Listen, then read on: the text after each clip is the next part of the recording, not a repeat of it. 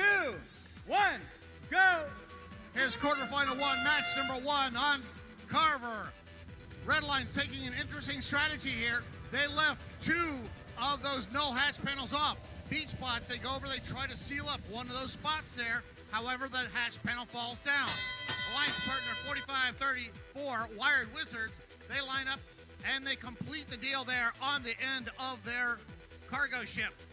364 for the Red Lions here, working on the rocket on the backside.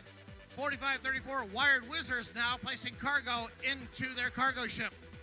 687 Nerd Herd from Carson, California, over here playing defense. They're waiting for 330, the beach Bots, to come out and play.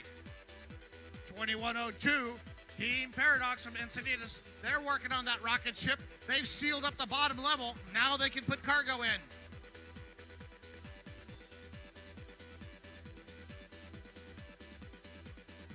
Six eighty-seven playing tough defense there on three thirty.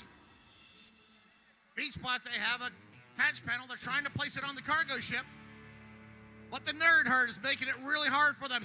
There's another hatch panel down on the carpet. Nice defense here by the Blue Alliance. Red Alliance plays a little defense too. They send their teammate 45-34 Wired Wizards across. Wired Wizards in the way of Team Paradox.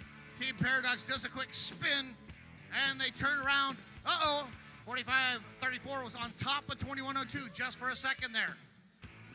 50 seconds remaining and we have a red lead 58 to 44. Energy HERD is our hometown team here, placing cargo into this rocket ship. And they've got the bottom level done. We have a deflated cargo there in the middle of the field, back on the back side of the cargo ship. 30 seconds remaining. Red line's already climbing. 364. Team Fusion lined up for that level three climb. 2102 time climbing for the Blue Alliance. They're up 15 seconds remaining. Robots still scurrying around. Will we have a, a, double climb here? 687, they have a suction cup.